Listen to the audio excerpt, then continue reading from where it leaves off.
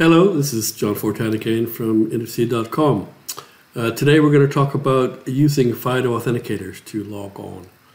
Uh, if you remember from last time, we created uh, FIDO credentials uh, on a token.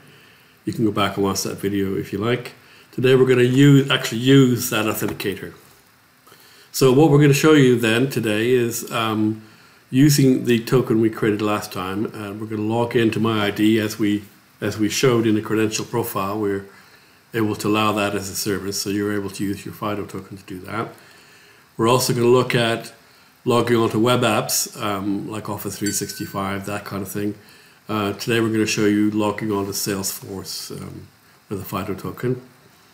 And also we're going to talk about mobile apps, how you log on to um, mobile apps using FIDO. And again, we'll pick on uh, Salesforce to show you that. So let's kick off then.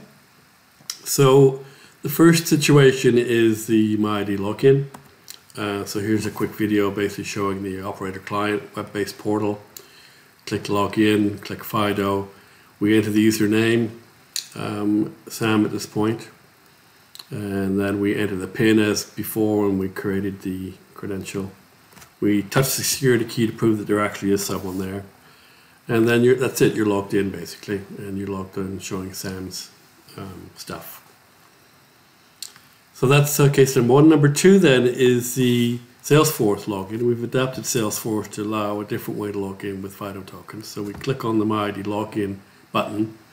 And again, that takes you to the same process. You click FIDO, you put in the user's name, you then put in the PIN for the for the uh, for the uh, token, touch the security key, and that's it. Basically, you're logged into Salesforce using a highly secure crypto-based uh, login.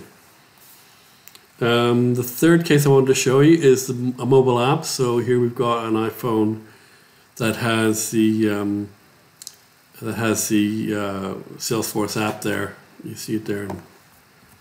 So we're basically going to launch that.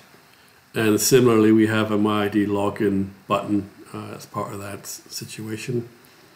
We put in the um, username again and we're allowed to use a token. And here we're actually going to show you basically using the NFC um, near field communications um, aspect of that. So we tap the token to the iPhone and then basically continue the login from there. And that's it. You're basically logged on to the Salesforce app using a FIDO token.